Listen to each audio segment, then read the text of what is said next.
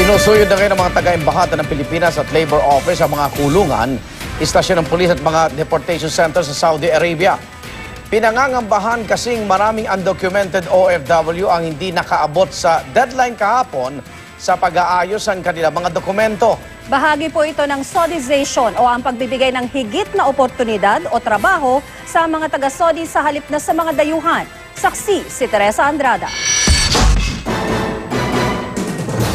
Emosyonal ang ilan sa mga undocumented OFW na umuwi mula Riyadh kasama ng ilang mula Abu Dhabi kasunod ng pagtatapos ng deadline kahapon para sa paglisan nila sa Saudi Arabia.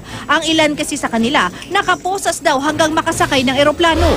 mas mabuti na pong dito na lang po kami sa lugar sa bansa na bansa natin kahit mahirap at least yung trato sa iyo mabuti kasi doon sa ibang bansa mahirap po Pero sa dami ng nagkukumahog na makakuha ng exit visa, pinangangambahang marami ang di umabot.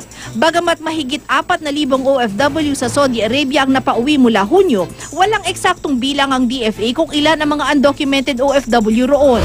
Since we have not received any positive response, uh, then uh, the uh, grace period has now ended.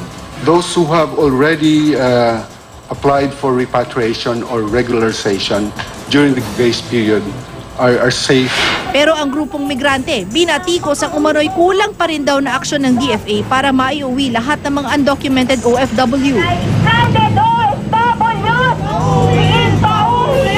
Multa at kulong ang parusa sa mga undocumented OFW kaya sinusuyod na ng mga taga-Philippine Embassy at Labor Offices ang mga kulungan, istasyon ng pulis at deportation center sa Saudi Arabia. So far, there are still no reports of any arrest.